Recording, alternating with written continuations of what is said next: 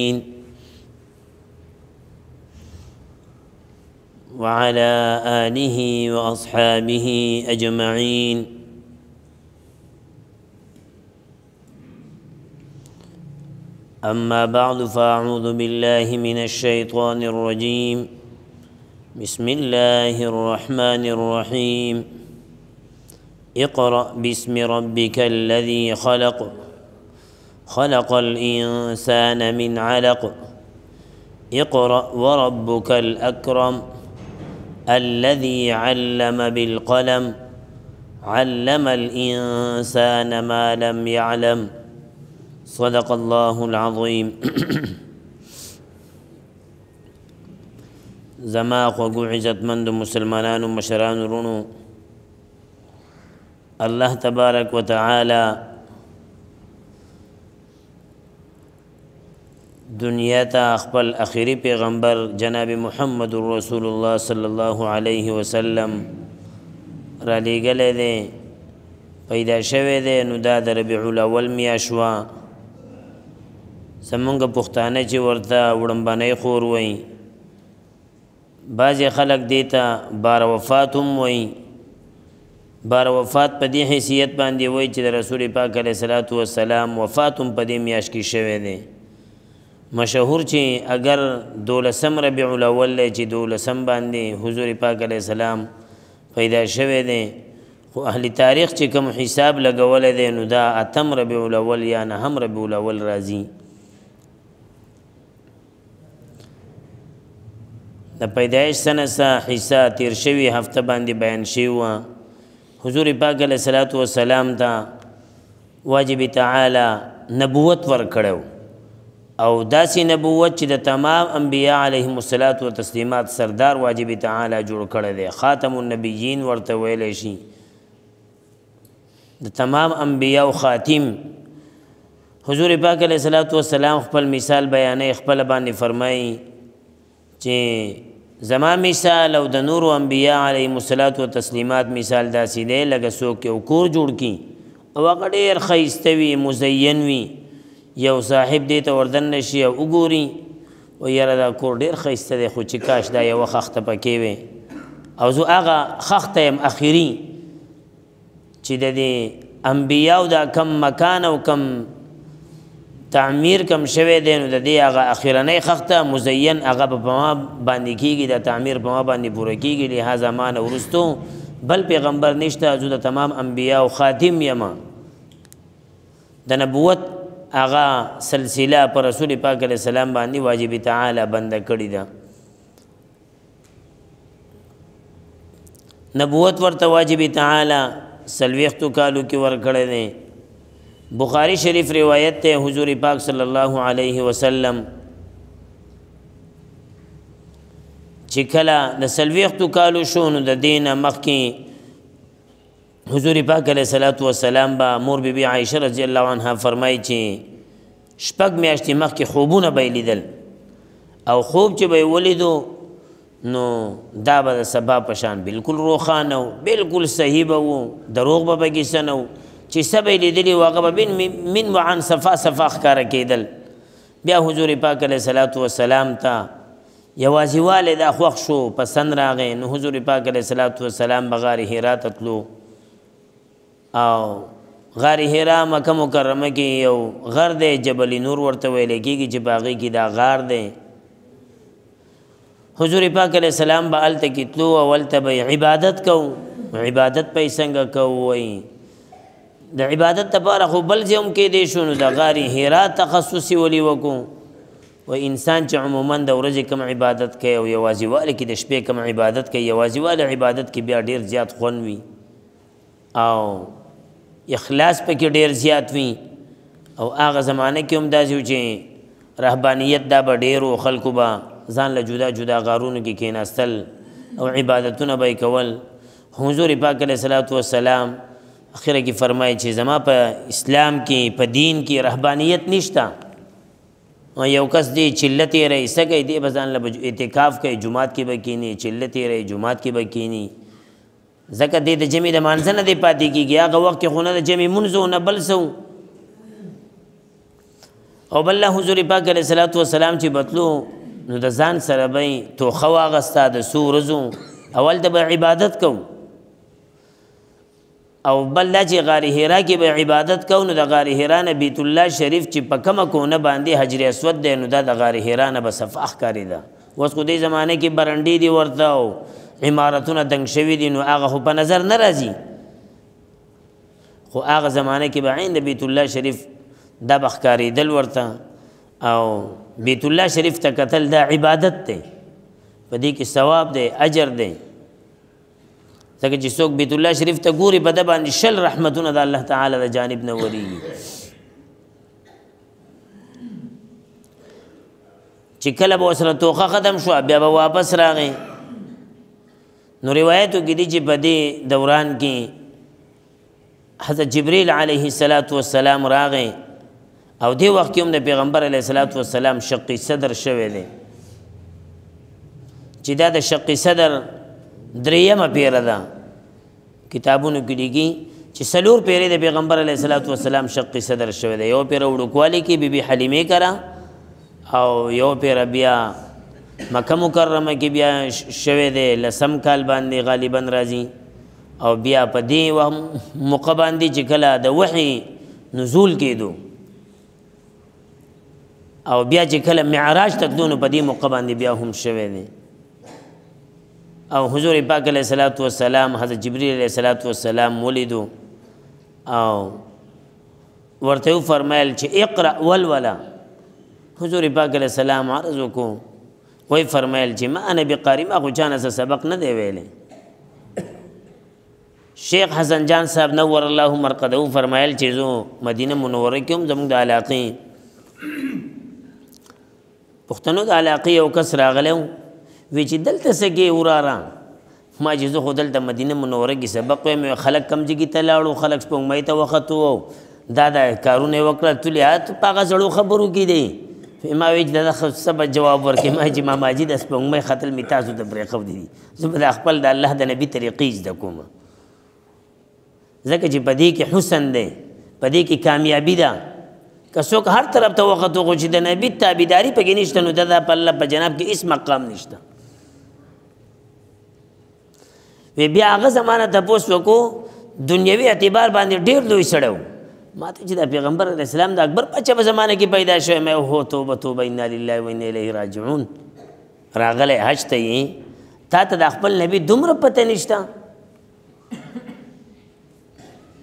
نو ما وی چې کاکاجی د ارز سره می تاسو ته پرې خو دي مونږ د خپل نبی طریقې خپلو دایز د کو چې په دې باندې مونږ روان شو خلکو ته وقیو فی بیا غ صاحب وی چې مونږ کله لاهور کې پیوځي کې سبق وینو یو سوال راغلی چې یاره پیغمبر علیه الصلاۃ والسلام په جای پیدایش څه دی دادی دادی دادی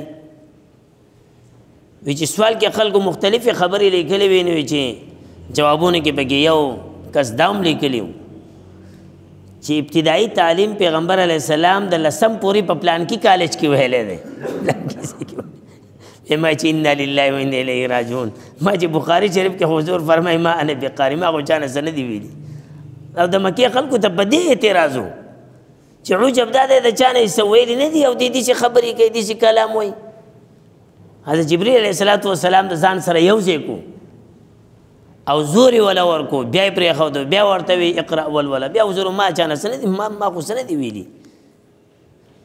زه څنګه وایم درې پیرې دا واقعیا وشو بیا حضور پاک علیه الصلاۃ والسلام ته ویل شو چې اقرا بسم ربک الذی خلق دا ابتدائی د سوره علق پنځه آیاتونه دا نازل شول و چې کله پیغمبر علیه الصلاۃ والسلام کور ته راغی نو یره پیوا او سلی داسې رپیدو نو چې کله دا د الله نبی دی د باندې دا یره ولې راغله طلبه قسم قسم سوالات کوي په دې محدثینو باندې الله دې جزای خیر ورکړي حضرات محدثین الله هر قسمه جواب ذکر کړی دی کله کله خپل باندې سوال وکړي بیا دا غي جواب هم ذکر کړي وی چې دا طبعی را دا د نبوت منافی نه ده لکه د حضرت ابراهیم علیه السلام واقع کې راځي فرشتي راغلي ابراهیم علیه السلام ملمدوس انسانو زر زری ورته سخی حلال کو ذبح کو اوریت کو کی قود ورته هغه نه خوړو نو ابراهیم علیه السلام سره کې یره پیدا شو وې زګه دغه زمانه کې چې بچا دچا ورانه کو نو داغو د کور خوراک پې نه کو وی کې دې شي دا خلک په بده اراده باندې راغلي ناغو ورته مونږه یریګه ما مونږه فرشتي یو او د زیری د پاره راغلی تعالی زیره درکو چې الله بدل بچي درکې نو الله تعالی فرمای فلما ذهب عن ابراهيم الروع د ابراهيم عليه السلام نه چې یره کله لاړه نو دا یره دا طبيعي شی دی دا راځي کور ته راغی پیغمبر علیه الصلاۃ والسلام او حضرت خدیجه الکبرى رضی الله عنها ته وی چې ما پټکا ما پټکا هغه پټکو خو چې کله یره ختم شو نو ټول واقعي ورته بیان کړه او زه په خپل ځان باندې یریږم وای هغه ول ډیر وای د پیغمبر علی صلوات و سلام د پاره الله تبارک وتعالى د داسې بیبي بی انتخاب کړو د حضور پاک علی السلام عمر مبارک 50 کالو او د دې بیبي بی عمر چې وونو دا سلويخ کالو چې پیغمبر علی صلوات و سلام د دې سره واده شوی او وای دې د پیغمبر علی السلام باندې دا په مکه مکرمه کې ډیر مالدار زنانه و او د خپل ټول مال په حضور پاک علیه السلام باندې قربان کړی دی او د پیغمبر علیه الصلاۃ والسلام حد درجه مینه محبت په د پیغمبر علیه السلام سره ساتو تر دې پوري چې کله پیغمبر علیه الصلاۃ والسلام بغار حرا کو او دا ځان سره به تو خو وړه ورځې بزیاتې تیر شوي نو دا بی بی محترمه او پسې زموږ د امور محترمه بتلا او پیغمبر علیه الصلاۃ والسلام ته به دا توخه پسې مزید وړه اوبه به یې د ځان سره اغستې وي ستفان به یې اغستې او دا به یې وړل پیغمبر علیه السلام ته چې اوس هم سړی غار حرا ته خېږي نو سړي ته سړی ستړی شي په څو دمو باندې خېږي اوس اګر چې لارې ورته برابر دي هر څه سره دي خو چې هغه زمانه کې به څنګه وي بیا هغه راهب له بوتلو د هغې چې کوم ورقه ابن نوفل کوم د ترس ویو وی د خپل وراره نه واوره دا څه وایي چې کله پیغمبر علیه الصلاة والسلام ورته ټول حکایت بیان کو وی دا خو هغه ناموس او هغه فرشته ده چې کوم په حضرت موسی علیه السلام باندې راتله او بیا کاش چې هغه وخت زو قوي وي بخاری شریف روایت ته اجمالا عرض کوم چې ستا قوم به توباسي ویا زما قوم به مو باسي وی او وی کله چې یو کس پاسېدل دی او د الله د لویوالي دا خبره یې کړې د وحدانیت نو داغه قوم داغه دشمن شوی دی د حضور پاک علیه الصلاۃ والسلام القابات په اوله کې هاذا صادق هاذا امین دا صادق دی رښتونه دی دا امانتدار دی او فیصله به پیغمبر علیه الصلاۃ والسلام باندې کولې خو چې کله پیغمبر علیه الصلاۃ والسلام د الله د لویوالي आवाज اوچت کو چې زه د الله نبی ما او تاسو د پاره را لېګلې شوم د بوتانو عبادت پرې دی نو په دغه ورځ باندې دی خلکو پیغمبر علیه الصلاۃ والسلام دی مشرکین دا نوم بدل کو وی هاذا کاذب هاذا ساحر دا لوی کاذب دی دا لوی جادوګر دی نعوذ بالله وی پیغمبر علیه الصلاۃ والسلام نه تاسو شو چې تاسو چرته دی نبوت نه مخ کی تاسو چرته د بوتانو عبادت کړي وې زما په خیال او تصور کې هم نه دا راغلی چې ما د بوتانو عبادت کړي حضرت زید ابن حارثه رضی الله عنه پیغمبر علی السلام غلام دی هغه چې کله به مونږه بیت الله شریف طواف کو نو په هغه وخت کې بیت الله نه به چار چا پیر بوتان پراته نو یو بوتو نه ما غیلا لاس ورلو پیغمبر علی السلام منع کړم چې مکو وداسي وی دویمه پیره باندې چې بیا مو چکر لګاو نو ما بیا لاس ورلو حضور پاک اسلام په سختۍ سره منع کړم ما ته ته نه چې لاس مورلا وای دا زما په تصور او خیال کې هم نه دا راغلی ځکه د نبی تربیت د خپل باندې واجب تعالی فرمایي وس یو د نبی د سیرت نه ځان خبرول دي یو د نبی په تعلیماتو باندې ځان رنگ کول دي د نبی د سیرت نه د مکه مکرمه ټول خلق واقف او ابو جهل تی واقف او عتبه تی واقف او شیبه تی واقف او خو د نبی په تعلیماتو باندې ځان رنگ نکو نو هیڅ فائدہ ورته ملاو نشو او د دې زمانه یو صاحب دی د نبی د د سیرت نه ځان واقف کړي نه دی خو البته ځان د نبی په تعلیماتو باندې رنگ کړي دی خو چې کومه د مغفرت وعده الله تبارک وتعالى د صحابه کرامو سره کړی و هغه د مغفرت او د بخانه وعده د دې امت سره هم د بیا د امت د اخري انسان سره هم ده ځکه چې الله تبارک وتعالی فرمایي چې ای زما حبیب دې خلکو ته ووایه د الله سره مینه ساتئ نو فتبعوني زما تابعداري وکړئ او چې کله زما تابعداري وکړئ نو زما په تابعدارۍ کې به تاسو ته دو خبرې ملاو شي یو یحببکم الله الله به سره مینه وکي او دویم ويغفر لكم ذنوبكم الله به درته ګناهونه معاف کړي او الله د انسان ګناهونه معاف کړي دا د انسان د لپاره غټه خبره ده بیا د پیغمبر علیه الصلاۃ والسلام د مکی دور چې کوم دینو دا د نبوت دا دیارلس کاله په دې کې هر قسمه تکالیف پریشانې پیغمبر علی السلام ته ملاو شوې دي ان تر دې چې د دې د الله د وحدانیت د دې خبرې د اوچتوالي د وجې د حضور مبارک لونو ته طلاق ملاو شو حضور پاک علیه الصلاۃ والسلام بیت الله شریف کې ولاړ دی مونږ کوي په سجده باندې پریوتو بدبخت راغلل په حضور مبارک باندې دا د اوخ اغسخه لره ګن بلا دی په حضور باندې ورواچول حضور پاک علیه الصلاۃ والسلام بیت الله شریف کې دی یو بدبخت راغی د پیغمبر علیه السلام مرای مبارک کې صادر ورواچو او تاوی کو چې د حضور مبارک سترګې راوته وای داسې داستان دی د حضور سیرت چې سړی بیانول هم نشي چې زمونږ په دې عقا باندې زمونږ د دې دین در رسیدو د وجه څومره تکالیف رسیدلی دي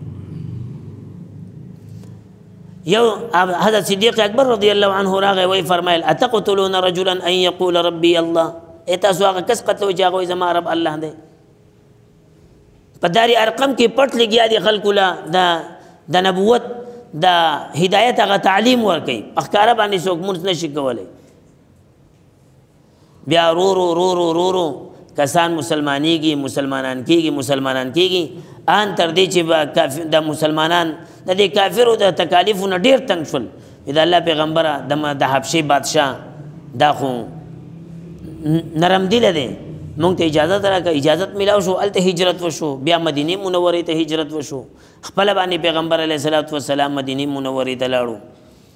بیا لس کاله مدینه منوره کې پیغمبر علیه الصلاۃ والسلام بیا تیر کړل نو یو ابتدایي دور دی او چې کله رسول الله صلی الله علیه وسلم مکه مکرمه کې دی او کله زی بیت الله شریف ته ګوري او خفقېږي جاړي ځکه دا مادری کلی پرېښودل دا ډېر ګران وي خو د الله د دین د پاره پرې خودل او د الله د دین په نوم باندې قربانول دا بیا انسان ته اسان وي اوس هم اکابر لیکي چې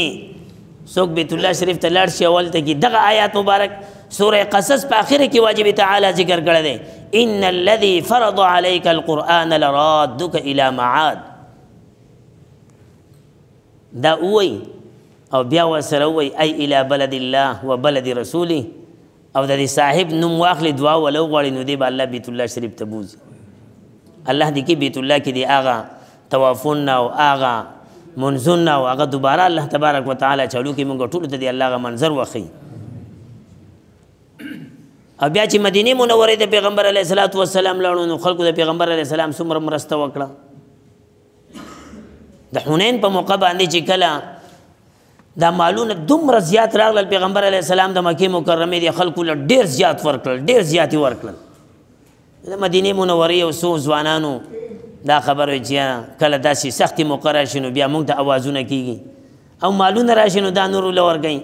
حضور پاک علیہ السلام انصار ټول جمع کړل حدیث شریف مفهوم داسې دی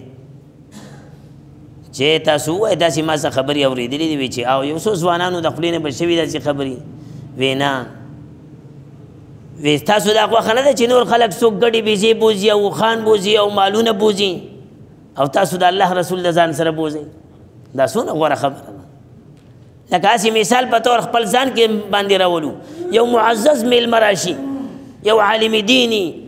او ډیر الله تر رسیدون کې کسي مونږ هر یو کس کوشش دار کو چې دا زمونږ بیٹک دلر چې زمونږ وچري تا هر یو کس دا خوخی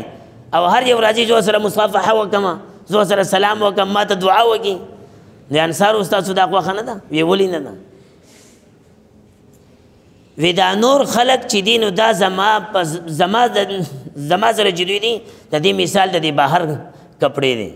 او انصار چې دي نو دا د دنه د ثار په شان دي دنه بنیان چې کم دي د وجود سره لګېدلي کپړې چې کم ده وی انصارو زمانه به ورستو تاسو تبا تاسو په زیبانی به خلق نور ته ترجیح ورکړي خو تاسو انتظار کوئ په حوض کوثر باندې زما سره د ملاقات نو یې د حضور پاک علیه الصلاة والسلام سره مینه دا د ایمان یو حصه ده دا د ایمان یو جز دی او د حضور پاک علیه الصلاة والسلام د سیرت نه ځان خبرول خپل ماشومان خبرول زمونږ نبی څوک زمونږ د نبی مینه څه ده زمونږ په نبی باندې وحی راغلی څنګه وه زمونږ د نبی اخلاق د کور دن اخلاق څنګه وو زمونږ نبی بهر معاشره کې به پاتې کېدو څنګه نو چې کله د رسول پاک علیه صلوات و سلام هر خبره د امت په هر طبقه کې راغله د الله تعالی تر طرف نه به د رحمتونو فیضان راځي په دې خلکو باندې یو صاحب واقعا مې اورېده هغه چې د یو کس سره مې ملاقات وشو وې داسې د دې سحر جادو متعلق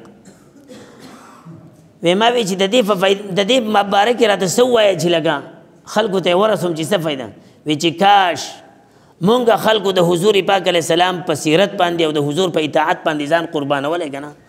نه نه جادو په چا اثر کوي او نه په چا باندې بل چا اثر کوي ما چې سا وې کوم که جادوګران ډیر زور ولګو کنه خو حضور فرمایل چې د مسبخین د دې روټې نه ورسره د قیلوله دا د سنت ته دا کم کس چې د قیلوله کې د سنت کوي کنه وې زمونږ هغه ټول جادو په خاورو کې ملاوي نه ما چې ګوره کم وخت حضور پاک علیه السلام دا خبره فرمایلی ده او وسې مونږ خلک پیوي چې عمل کوو چې دا غوا ټول ارته سره په قبر کې ملاويږي